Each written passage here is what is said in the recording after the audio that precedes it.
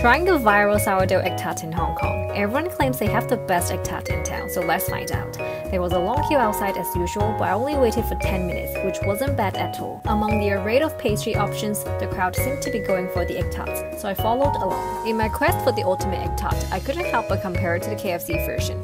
Yet, to my surprise, the disparity was minimal, it was just softer and flakier. Let me know what you think.